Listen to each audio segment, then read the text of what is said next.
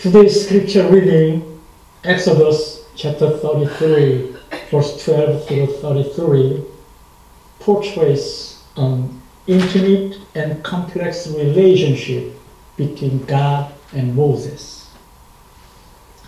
They are depicted as conserving like friends, engaging in both enjoyable moments of conversation and disputable moments of disagreement.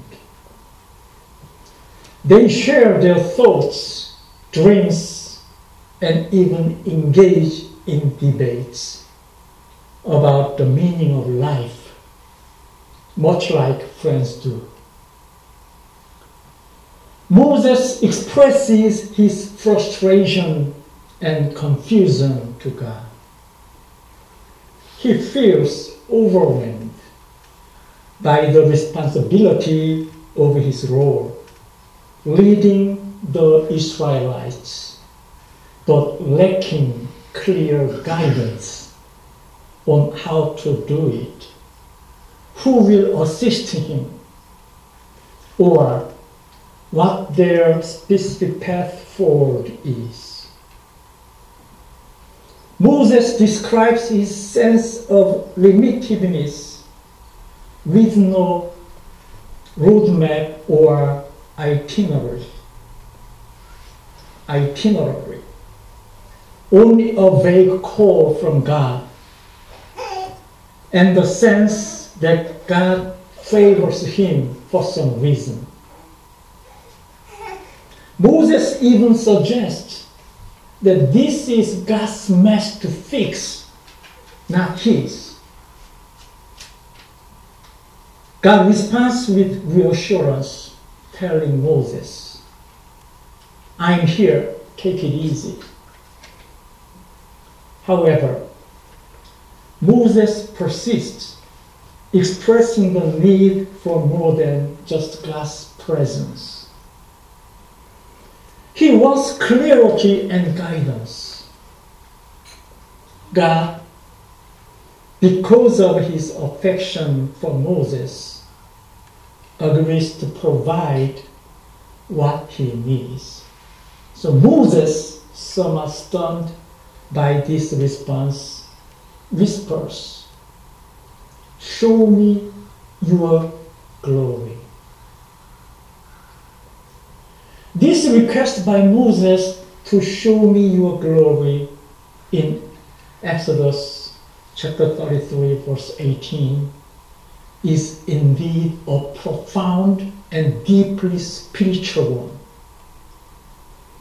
While it may not explicitly mention Jesus, we can connect Moses' desire for a tangible experience of God's presence with the Christian belief in the incarnation of Jesus Christ. That's because in Christian theology, Jesus is often seen as the embodiment of God's glory and the ultimate revelation God revelation of God to humanity. He is believed to be the Word made flesh. John chapter 1, verse 14. Through whom God's matter and will were revealed to humanity. So we can interpret when Moses was asking for something similar to the presence of Jesus, it reflects a Christian perspective on the Old Testament text here. Moses is longing for a tangible and transformative encounter with God, much like we Christians believe Jesus provides such an encounter. It's a desire for God's presence to be made manifest in a way that would guide and sustain him in his leadership and help him understand how to live according to God's will. In a broader sense, giving glory to God or acknowledging God's glory in the Christian tradition often involves living in accordance with God's teachings, demonstrating faith, love, and obedience to God. For us, for Christians, Jesus' life and teachings serve as a model for how to do this.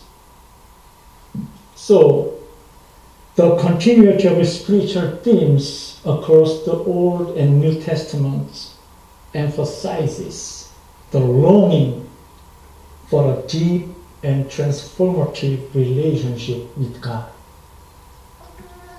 In today's gospel lesson, Matthew chapter 22, verse 15 through 22, Jesus is confronted by the Pharisees and Herodians with a question about paying taxes to Caesar.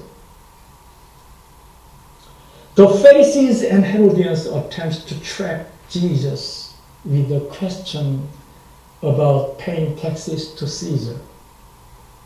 However, Jesus often used such situations to convey profound spiritual truth and redirect the conversation towards matters of eternal significance. Jesus says, Give to Caesar the things that are Caesar's, and to God the things that are God's.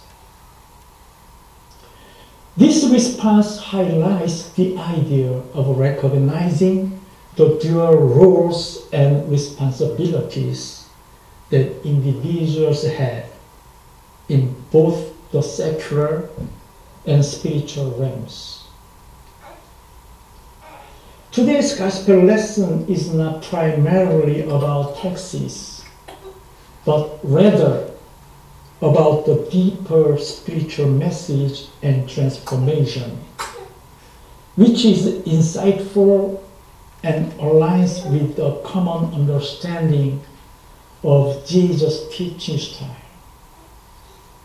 The way Matthew presents the encounter between the Pharisees and Jesus is very, very interesting.